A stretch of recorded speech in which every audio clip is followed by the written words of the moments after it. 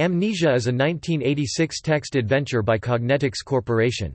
It was written by science fiction author Thomas M. Disch and programmed by Kevin Bentley. It was published by Electronic Arts EA for DOS and Apple II. A version for Commodore 64 was released in 1987.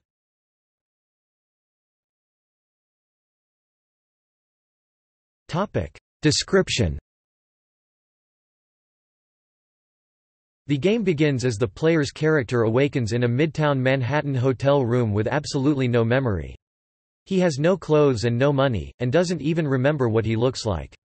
The player soon discovers he is engaged to a woman he cannot remember, a strange man is trying to kill him, and the state of Texas wants him for murder. From here, the player must unravel the events in his life that led him to this point.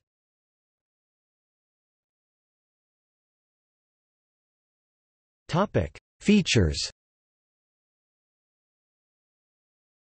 In addition to being a text adventure, the game's major innovation was simulating life in Manhattan. Disch's model covered every block and street corner south of 110th Street. A hard copy map of the streets and subways of Manhattan was included in the packaging. Players moved from place to place on foot, and had to reach destinations at the correct time of day to initiate plot developments. Stores opened and closed at the correct times, street lights went on, and other aspects of New York City life were simulated. Almost 4,000 separate Manhattan locations, including 650 streets, were part of the game.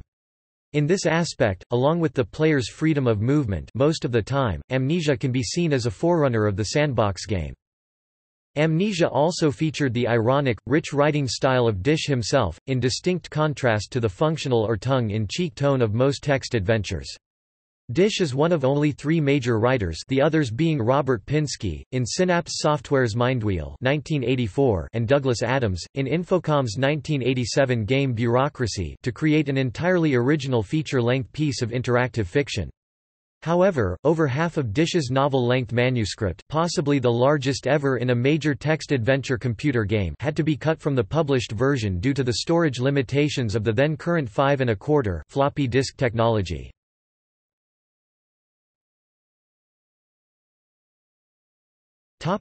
Development Game programmer Kevin Bentley implemented the game using the King Edward Adventure game authoring system, which was developed by James Terry. The game was acquired and produced by Don Daglow.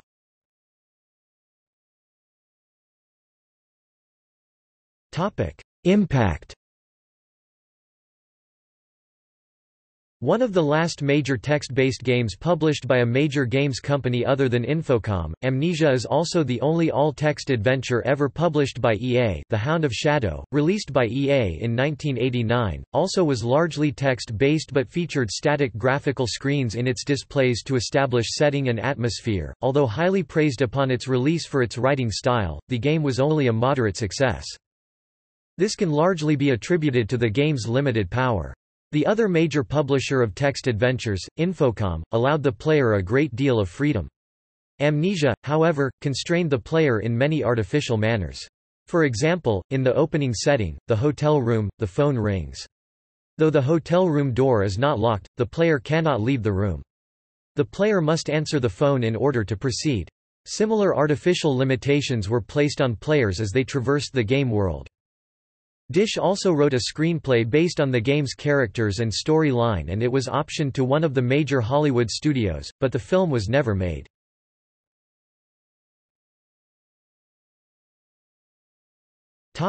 Reception A review in Computer Gaming World described the game as being too much like a novel, giving as example the need to answer the phone in the hotel room.